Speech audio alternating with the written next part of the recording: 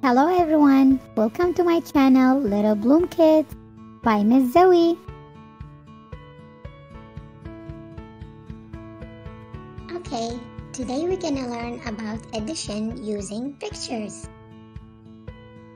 Okay, let's start in the nature and counting ladybugs. There is one ladybug and another ladybug comes and joins. That's two ladybugs. Another ladybug decided to come and join them. So it become 2 plus 1. Let's count them all together. 1, 2, 3. Right, so I have 3 ladybugs, so it's equal 3. Perfect. Let's relax and look at the leaves and let's start counting caterpillar. There is one, two, three. That's three caterpillars. Okay, there's on the other side one, two, three. So it becomes three on the left plus three on the right.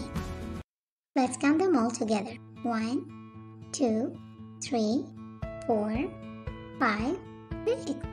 Yes, it's equal six. Perfect. Yay, it's fall time. Let's do exercise and start counting leaves. Are you ready, guys? One, two, three, four, five leaves are falling from the tree. That's five. And other leaves are coming. One, two, three. So five plus three. Let's start count them all together. One, two, three, four, five, six, seven, eight. Yes, it equal eight. So five plus three equals eight. Perfect. Yes, it's my favorite time, winter time. Let's play with the snowball. Yay! Let's do some skiing. Woohoo! Are you guys ready for some fun? Let's start build a snowman. One, two, another snowman. One more.